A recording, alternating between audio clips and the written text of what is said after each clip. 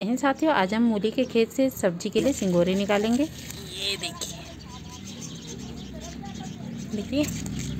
ये देखिए। कितनी अच्छी हरी हरी ताजी ताजी एकदम और ऑर्गेनिक है ये। सिंगोरी ले आई हूँ मैं तोड़ के और इसको हम ये लेंगे और ये दोनों साइड इस साइड से भी और इस साइड से भी तोड़ के इसे साफ़ करेंगे। तो चलिए पहले हम साफ़ कर लेते हैं। ये देखिए इस तरह से हम साफ़ करेंगे दोनों साइड से और अलग बर्तन में हम डालते जाएँगे। ये मैंने सिंगोरी साफ़ कर ली और इसमें तीन आलू मैंने धो के डाल दिए हैं। सिंगोरी को भी धो लिया है।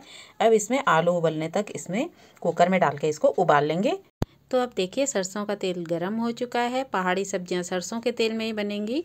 तो जखिया मैंने डाल दिया पहाड़ी तड़का, आप जीरा भी डाल सकते हैं। उत्तराखंड में कहीं भी जखिया आपको आसानी से मिल जाएगा।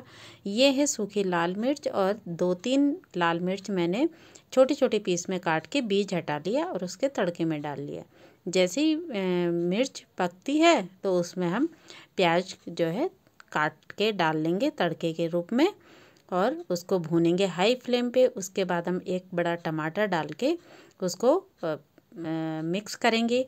उसमें जो भी मसाले हम डालते हैं, नमक, हल्दी, मिर्च, धनिया पाउडर, जो आप खाते हैं, वो आप डाल लीजिए और उसके बाद इस मसाले को मिक्स कर लीजिए।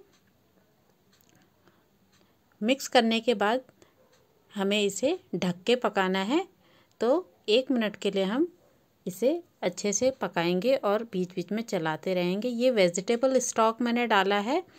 आप जो है पानी भी डाल सकते हैं। तो इसको एक मिनट और पकाएँगे और ये तेल छूट चुका है मसाले से। बहुत अच्छी खुशबू आ रही है। तो इसके बाद अब हम डालेंगे ये आलू के जो पीसेस कर लिए और जो सिंगोरी हैं, उसके भी दो दो पीसेस कर लिए जो बड़ी बड़ी सिंगोरी थी। तो सबसे पहले हम आलू डालेंगे और उसको भून भून के पकाएँगे। दो मिनट कम से कम हमें इसे भून के पकाना है और बीच में हम ढक लेंगे।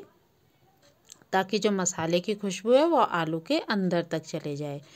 ये दो मिनट हो गए हैं, अब हमें सिंगोरी इसमें डाल लेनी है, लेकिन सिंगोरी हमें निचोड़ के, हल्के हाथ से निचोड़ के डालनी है, क्योंकि इसके अंदर पानी चला जाता है तो निचोड़ना बहुत ज़रूरी है। तो ये देखिए, और बस ये सब्ज़ी थोड़ी देर में बन के तैयार हो जाएगी। आप चैनल को सब्सक्राइब करना बिल्कुल मत भूलिएगा, और वीडियो को लाइक एंड शेयर ज़रूर कीजिएगा। दो मिनट तक हम इसको चलाएँगे। ये देखिए, धनिया है, आप धनिया से गार्निश कर लीजिए और इसको परोसिए। बहुत अच्छी रेसिपी है, आप एक बार ट्राई ज़रूर कीजिएगा, बहुत सिंपल रेसिपी है। बाय, जय हिंद।